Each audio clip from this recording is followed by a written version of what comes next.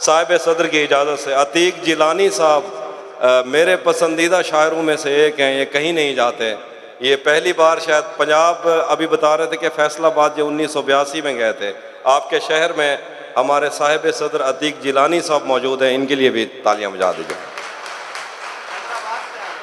हैदराबाद से सफ़र करके। अभी मैं शेर सुनाता आप जितना मर्ज़ी रोला डाल लीजिएगा, शेर लव यू टू हूँ मैं। वैसे मैं तौसा शरीफ से हूँ। लड़कों को आई लव यू कहना मेरे लिए अच्छा नहीं है।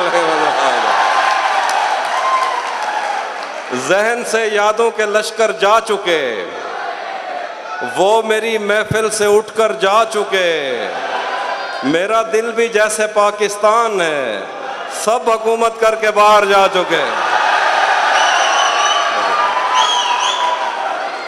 धूप पड़े धूप पड़े उस पर तो तुम बादल बन जाना।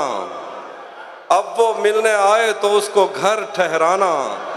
तुमको दूर से देखते देखते गुजर रही है। मर जाना, पर किसी गरीब के काम ना आना।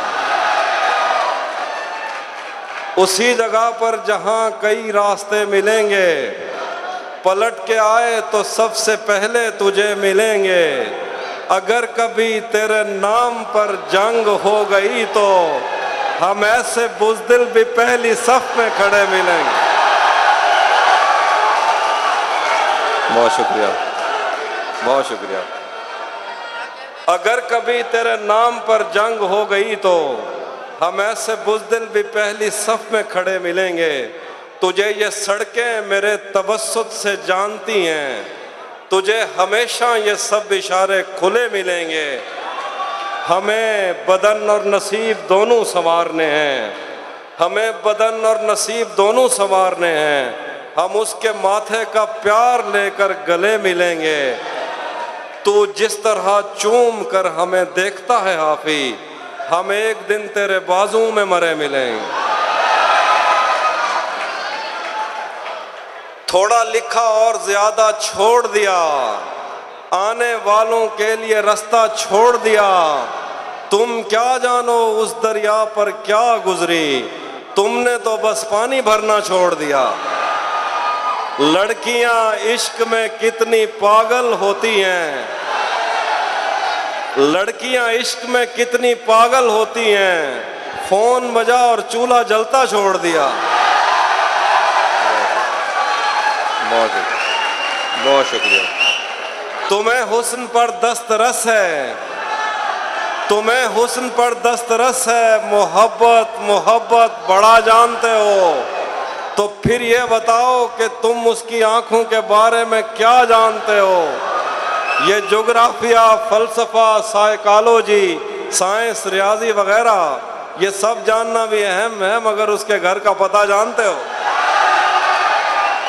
बहुत शुक्रिया। और अब जो आपने कहा था एक शेर कि जो तेरे साथ रहते हुए सो गवार हो, जो तेरे साथ रहते हुए सो गवार हो, लानत हो ऐसे शख्स पे और बेशुमार।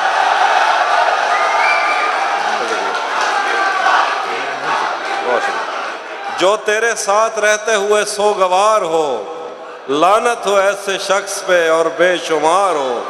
अब इतनी देर भी ना लगा। ये न हो कहीं तो आ चुका हो और तेरा इंतज़ार हो। एक आस्ती चढ़ाने की आदत को छोड़कर। हाफी तुम आदमी तो बहुत शानदार। बहुत शुक्रिया। मैं वो सुना जब से एक मतलब देखिएगा, अतीक साहब आपकी नज़र आई है। जब से उसने खींचा है, खिड़की का पर्दा एक तरफ़। जब से उसने खींचा है, खिड़की का पर्दा एक तरफ़। उसका कमरा एक तरफ़ है, बाकी दुनिया एक तरफ़। जब से उसने खींचा है, खिड़की का पर्दा एक तरफ़। उसका कमरा एक तरफ़ है, बाकी दुनिया एक तरफ़। यूँ तो आज भी तेरा दुख दिल दहला देता है, लेकिन तुझसे जुदा होने के बाद का पहला हफ़्ता एक तरफ़। और तेरी तेरी आँखों ने मुझसे, तेरी आँखों ने मुझसे मेरी खुददारी छीनी, वरना पाँव की ठोकर से कर देता था मैं दुनिया एक तरफ़। ये एक दोस्त ने फरमाइश की, ये सोच कर मेरा सहरा में जी नहीं लगता। मैं शामिल सफ़े आवारगी नहीं लगता। कभी कभी वो खुदा बन के साथ चलता है। कभी कभी तो वो इंसान भी नहीं लगता। कभी कभी वो खुदा बन के साथ चलता है। कभी कभी तो वो इंसान भी नहीं लगता। मैं चाहता हूँ वो मेरी जबी पे बोसा दे, मगर जली हुई रोटी पे घी नहीं लगता। मैं चाहता हूँ वो मेरी जबी पे बोसा दे। बहुत शुक्रिया। बहुत शुक्रिया। मैं चाहता हूँ वो मेरी जबी पे बोसा दे, मगर जली हुई रोटी पे घी नहीं लगता। मैं चाहता हूँ वो मेरी जबी पे बोसा दे, मगर जली हुई रोटी पे घी नहीं लगता। यकीन क्यों नहीं आता तुझे मेरे दिल पर? ये फल कहाँ से तुझे मौसमी नहीं लगता? यकीन क्यों नहीं आता तुझे मेरे दिल पर? ये फल कहाँ से तुझे मौसमी नहीं लगता? मैं उसके पास किसी काम से नहीं आता, उसे यह काम कोई काम ही नहीं लगता। कैसे उसने ये सब कुछ मुझसे छुप कर बदला? कैसे उसने ये सब कुछ मुझसे छुप कर बदला? चेहरा बदला, रास्ता बदला, बाद में घर बदला। मैं उसके बारे में ये कहता था लोगों से मेरा नाम बदल देना, वो शख्स अगर बदला। मैं उसके बारे में ये कहता था लोगों से, मेरा नाम बदल देना, वो शख्स अगर बदला, वो भी खुश था, उसने दिल देकर दिल मांगा है। मैं भी खुश हूँ, मैंने पत्थर से पत्थर बदला। मैंने कहा, क्या मेरी खातिर खुद को बदलोगे? और फिर उसने नज़रें बदली और नंबर बदला। आखिर पे दो तीन शेर भरम रखा है। तेरे हिजर का वरना क्या होता है?